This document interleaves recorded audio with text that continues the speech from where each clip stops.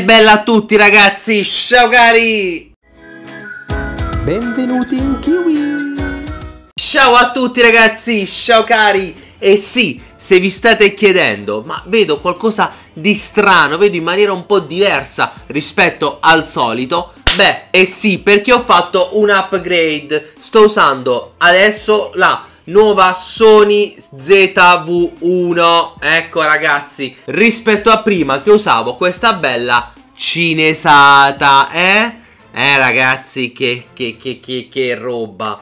Vabbè però voi mi avete conosciuto con sta cinesata E ora avete l'upgrade Eh ragazzi? Dai ragazzi allora iniziamo adesso Ma prima di iniziare ragazzi Proprio per festeggiare questo upgrade che ho fatto Ragazzi ora non avete più scuse Dovete iscrivervi al canale Quindi iscrivetevi al canale Attivate la campanella Commentate Mettete like Tutte queste cose qua Che dovete fare sempre? Ora più che mai. Quindi ragazzi iniziamo questo nuovo format di storie incredibili. Oggi andremo a parlare di Steve Jenkins. Ma chi è Steve Jenkins? Steve Jenkins è il ragazzo che ha comprato una bella maialona senza saperlo. E no, non è una donna molto procace, ma una vera e propria maialona, una maialona da campagna proprio ma partiamo dall'inizio, ok? Steve Jenkins vive col suo fidanzato Derek, ok? In, in America, da qualche parte lì in America, vabbè, non interessa. E quindi che è successo? Lo chiama un bel giorno una sua amica di università, di quando andavano ancora all'università, quindi una compagna di classe. Lo chiama e gli dice Pronto Steve? Sì, ho saputo che ti piacciono gli animali e quindi ho un maialino da dare via, un maialino da compagnia, sai, non cresce molto. E al massimo diventa grande quanto un gatto bello robusto, ma niente di più, stai tranquillo. All'epoca Steve Jenkins aveva già due cani, due gatti e una carpacoi e una tartaruga, quindi già, già, stava, già stava bello inguaiato. Però vabbè, gli animali sono animali, se vogliono bene gli animali, volemo bene gli animali e quindi Steve Jenkins che disse? Disse guarda, ne parlo col mio ragazzo Derek e vediamo se è un altro animale o potremo pia. Vabbè, e quindi attacca giù il telefono. Derek, manco io va di tanto perché è successo lì per lì, diciamo. E quindi dopo qualche oretta richiama l'amica dell'università a sto Steve. Gli dice, pronto Steve, senti, c'è un altro amico che vuole assolutamente questo maialino. La mente di Steve dice, oh, sti cazzi, dai, dai io che mo chiama a me. Mm, questa ci stava a provare, vabbè. Quindi, dicevo, Steve, eh, c'è stato un altro ragazzo che è interessato al maialino. Lo vuoi? Perché se no te lo do a te, visto che a te piacciono gli animali e adori gli animali. So che con te vivrebbe molto bene questo maialino. Tanto, come dicevo, resta molto piccolo. È solo un maialino da compagnia. E Steve, ovviamente, messo così ai corde con acqua alla gola, disse: Vabbè, damo a me, mo pio io. Anche perché all'epoca andava molto di moda piasse sti maialini da compagnia. Perché pure Paris Hilton e George Clooney avevano uno, capito? Quindi disse: Oh No, il maialino da compagnia come grandi star è una figata, o oh, tanto che me frega, resta piccolo, al massimo diventa quanto un gatto. Diciamo che abbiamo tre gatti. E quindi si andò a prendere questa bella maialina e la chiamò Esther. Quindi ora, quando sentirete dire Esther, mi rivolgo a maialina. Per ora, maialina. Perché? Nel frattempo, Derek e Steve si abituano a sta bella maialina, ma iniziano a vedere che c'è qualcosa di strano perché dopo qualche mese, e la maialina era piccola più o meno così, era, cioè una, era tipo una quarantina di centimetri, era proprio piccola, aveva tipo sei mesi, era proprio cucciolotta. Quindi dopo qualche mese però iniziarono a vedere che diventava sempre più grande, più grande, più grande, più grande, grande, iniziò a diventare a grandezza quasi quanto un cane, un bel cane bello robusto e disse ma me sa che c'è qualcosa di strano, me sa che, sta, che qua tipa m'ha fregato e quindi che è successo? Andò al veterinario con sta Maia, diciamo Maia con Esther, andò al veterinario con Esther, ok? Il veterinario la controllò, disse guarda, c'è un piccolo problema, perché questa non è una maialina da compagnia, questa non rimane piccola, come te l'ha detto l'amica tua, ma è un vero e proprio maiale d'allevamento di campagna. Se le cose vanno bene, arriverà a pesare massimo 100 kg. Se le cose invece non vanno bene, può arrivare a pesare anche fino a 300 kg. Indovinate come è andata a finire?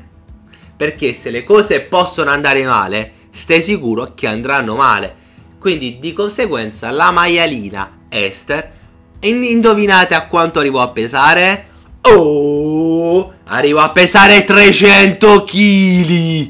300 kg ragazzi, dopo nemmeno un anno è arrivata a pesare 300 kg raga. Derek e Steve, guarda, non sapevano più che fare. Però ovviamente col tempo si, si erano affezionati. Infatti Esther seguiva Steve e Derek dovunque andassero, capito? Era, tipo un cagnolino proprio. E questa Esther si era anche abituata a stare in casa perché siccome i maiali non sudano, e eh sì perché i maiali non sudano, non hanno proprio fisicamente quelle cose che fa uscire il sudore dalla pelle, non, non ce l'hanno, quindi i maiali non sudano e non puzzano loro per loro, capi come? Non, non, perché non hanno sudore. Quindi, se quando incontri una persona tutta sudata, tutto così, e gli vuoi dire, ma no, quello suda come un maiale. I maiali non sudano, quindi non puzzano di sudore. E ciò che fanno co, co, co, in mezzo alla campagna, in mezzo ai cosi loro, che gli fanno puzzare, ma loro per loro, se sono belli, puliti, curati e sistemati, tutto preciso, tutto caruccio, tutto pettinato. Non puzzano, ok? Ricordatevelo. Anche perché Esther era pure indipendente. E certo che Yaman ha di Esther che faceva?